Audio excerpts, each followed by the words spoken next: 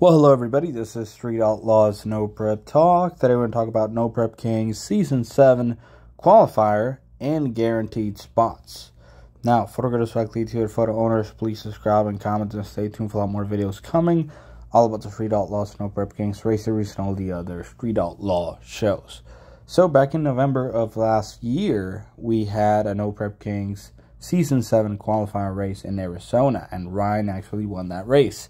Nate Saylor runner up. And as you may see, thanks to this list that the Street Outlaw Stat Guy published, we can see everybody that participated and everybody that accumulated points and wins on that race. Now, back then, Street Outlaws stated that there were going to be two qualifier racers for No Prep Kings Season 7. So we don't know if this was the first one and the second one will be the season opener at Maple Grove in April, or if this is going to be the only qualifier and the racers that actually accumulated points at the qualifier race that won a round or two or won the event, etc., will get into the invitational right away, and the rest of the racers that did not participate or that did not win any round will have to race her way in. Now, usually the first race of the season, it's a qualifier race, it's for less money,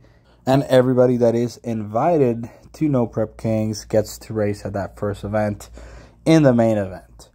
Now, after that race, in the second race, the top 32 in points races, plus the race your way in cars, which there are always a few ties in the top 32 so a few spots get open for race your way in racers. So let's see what happens. Every year, something gets modified, something gets changed, and also let's see what happens with the Great 8 or if Team Attack will come back. That would also be really cool.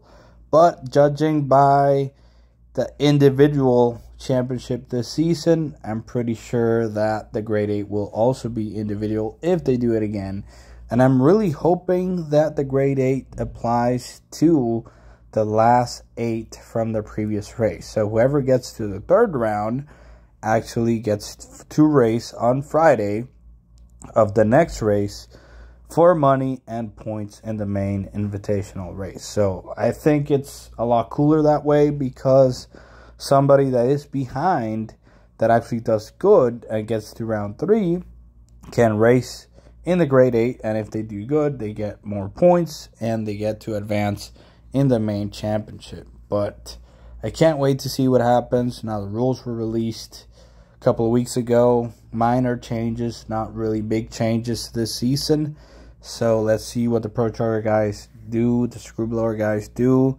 The really few nitro scars which are only two jerry bird and Lizzy Musi can do this season and of course the turbo cars, which we're going to see a couple of twin turbo cars this season as well. So, as I always say, let's see what happens this year.